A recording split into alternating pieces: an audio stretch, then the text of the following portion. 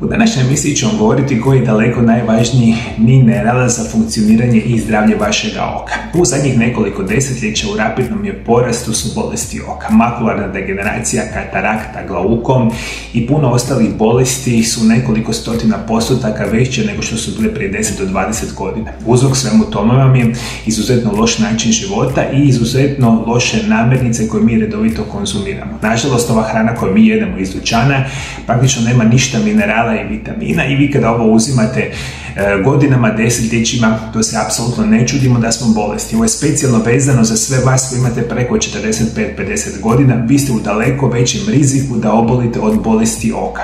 Isto tako ću vam dati najlakšu i najjednostavniju verziju kako se ovo nikada neće dogoditi. Ključni mineral za zdravlje oka je cink. Cink je esencijalni mineral prisutan u svim organima i tkivima, kao tjelesnim tekućinama. Ljudsko tijelo sadrži 2 do 3 gama cinka, ponajviše u skeletnim mišićima i kostima, a u manjoj mjeri i u bubrezima, jetri, mrežnici oka, koži, prostati ga ljudi uglavnom vežu za imunitet. Mineral cink ima više struku ulogu u organizmu čovjeka. Mi ga sami ne možemo proizvesti, nego ga moramo unositi u tijelo namirnicama ili dodacima prehrani. Jedna najpoznatijih uloga cinka je svakako doprinos normalnoj funkciji imunološkog sustava. Naime, cink utječe na stvaranje i aktivaciju te limfocita, bijelih krvnih stanica važnih u borbi protiv infekcija pa nedovoljanost cinka negativno se odražava na broj i funkciju te stanica, a samim time i na imunitet. Ono što morate voditi ovako računa, moji dragi gledatelji, jedan od onih situacija koji nitko zapravo ne, ne razmišlja pretjerano, da ova hrana koju mi jedemo praktično nema ništa minerala i vitamina. I ovaj cink je jedan od najvažnijih minerala što postoji, ali što je bitno za današnju emisiju. Vi cinka u prilično velikim koncentracijama imate u samome oku.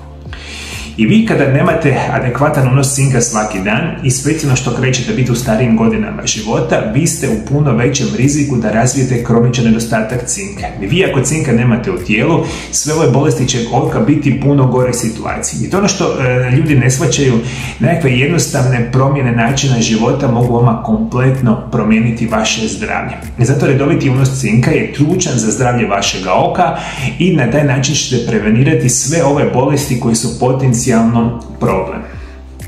Moramo reći, e, nalazi, cink se nalazi u kostima, mišićima, prostati, jetri, eritrocitima i leukocitima.